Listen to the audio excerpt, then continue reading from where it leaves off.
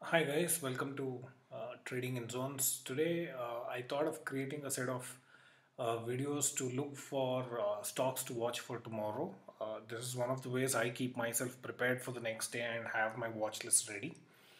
So from a market perspective, market has pretty much moved down and you know there might be some bounce up and continuation of a move down on Monday as well if the bearish trend continues or if it's going to hold uh, the 10,480, 10,500 approximately those levels, uh, then the market might start seeing some reversal. If at all we see some fresh uh, buying coming in. Else uh, given the festive season uh, you know we might see more money being taken out uh, of the market at this point in time. So having that view i have a set of stocks here in front of me for us to look at uh, tomorrow. So on the short side i'm seeing idea.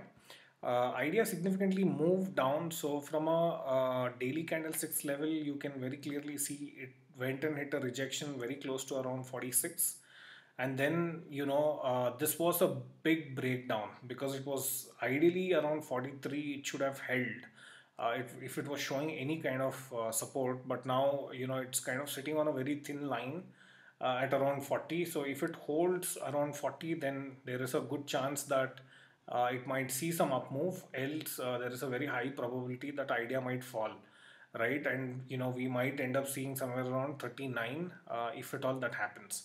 So it might come to clo- come, come very close to around 39 uh, tomorrow. There is a very high probability if the downtrend continues because this seems to be a big sell off and it fell good 7% so there is a very high probability that this might fall uh, if it's going to break around 40 we might see uh, one more rupee movement down happening. So a good uh, stock to have on watch list uh, for tomorrow. Right? And also some of the other stocks which are looking pretty weak uh, one of them is uh, power finance corporation.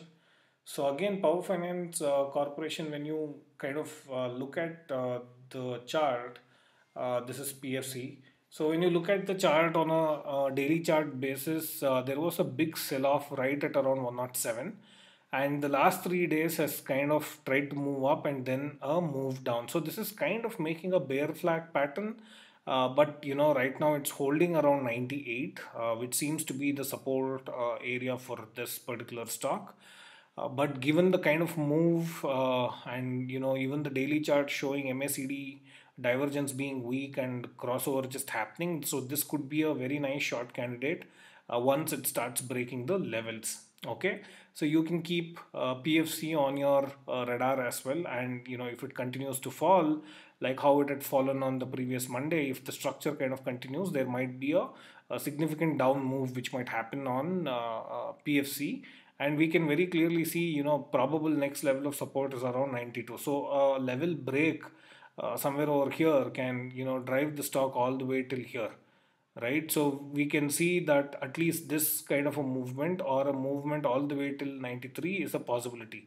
So 96 and 93 could be the next possible levels where uh, PFC might take a stop or if it's a significant down move we can see it all the way going till around 89.3 or, or around 90 rupees approximately okay? So this might be the range where it might come and take support if it breaks the uh, current uh, levels of support which it's tested. Okay? But looking at its weakness looking at the kind of volume uh, reducing down the previous week after the big sell off this seems to be bearish. There is no strength uh, moving up. It could just be short covering which has happened and friday it's fallen down again. So good chance that pfc might go down so these are the two stocks uh, from the top of the list what i have from a shorting perspective and from a stocks uh, you know which are moving perspective you know i'll probably have uh, top four uh, reviewed. One is Capital First, uh, CAPF. This was a stock uh, which I recently traded. This seems to be bullish the IDFC twins. These are also something which I traded, and Motherson Sumi also I'm pretty bullish uh, given the range. So we can quickly have a look at these four stocks for uh, tomorrow as well. I'm hoping that you know these stocks will give us some amount of movement uh, on uh, Monday. Okay, which is tomorrow morning or rather today morning because it's almost uh, past 12 o'clock now. So let's quickly look at CAPF on a daily chart in terms of how it is looking. So if you see CAPF, uh, CAPF on a daily chart, we can very clearly see has a significant breakout which has happened at around uh, 498 or around 4 500 uh, which was also a level which I called out uh, for a long trade. So at this point in time I can see there is a significant amount of support at around 530 levels. So if it holds uh, 530 or till around uh, 5 you know 20 uh, levels as well there seems to be good support from around 530 to 520 if it is within that range uh, if it holds and if it starts moving up uh, it's definitely a buy right? Uh, but if it does not hold uh, that particular range and uh, you know if it uh, starts going below 520 we might see a 500 again. But given the kind of volumes which is kicked in on CAPF and given the significant breakout it has made you know there is a very high probability that it might continue the uptrend. The movement might not be significant like this but we might still see some amount of movement which might happen. And you know uh, there is a good uh, swing possibility at least till around 600 or uh, even if it continues you know somewhere around 590 to uh, 624 seems to be a possibility right? 580 590 till at least around 600 620 level seems to be a possibility on this particular swing so there is a very good possibility that uh, you know it might continue to uh, move up before it hits any of the upper level resistances okay? So currently it's hit this rejection somewhere over here. This zone this level here is acted as a clear rejection which we can see right? So if it breaks then obviously the next level of uh, rejection is around 580 and if it continues the next level of rejection going above 600 so uh, if the volumes continue and if the price starts moving up uh, you know uh, this seems to be a stock which is having very high probability of a up move we can expect around 580 levels on this uh, coming very soon so you can keep this stock on radar as well and the other stock is IDFC Twins, IDFC Bank and IDFC both. So let's look at uh, one by one in terms of what's happening.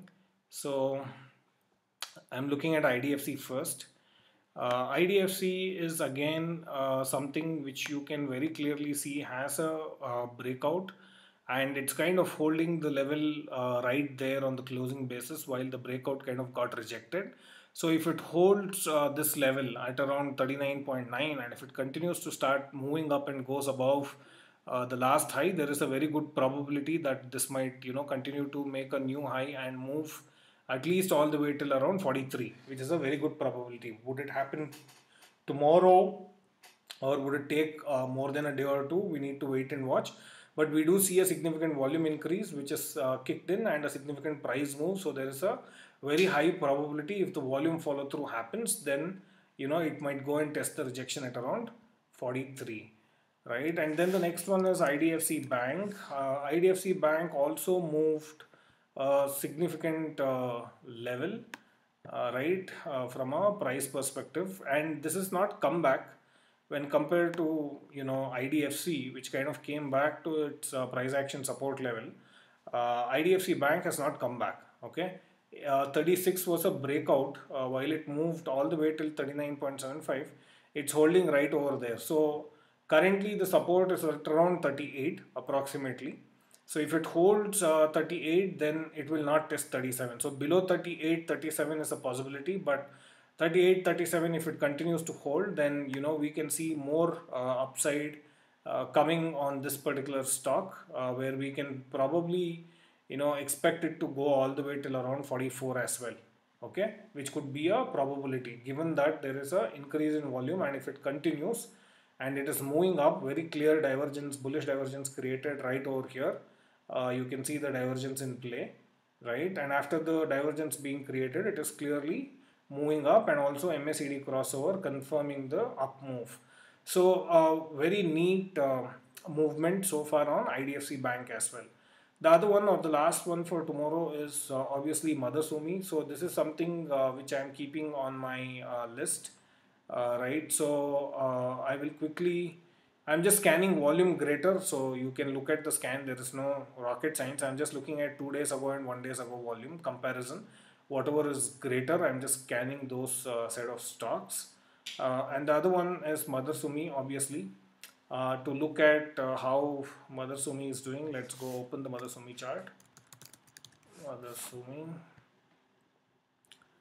All right, so let's uh, zoom in slightly on Motherson Sumi. Again, a stock which is beaten down pretty badly, uh, creating multiple uh, divergences, right? So there was uh, one divergence which it created right over here, made an up move, but again there was a significant fall. And again, it's created one more divergence over here when compared to this low and this swing low. Uh, you know, and now it is slowly starting to move up, and this seems to be like a breakout okay so there was a very strong rejection for uh, this particular stock at around 153 154 levels. Now it's closed uh, pretty much above that level which is confirming uh, with a good uh, bull volume.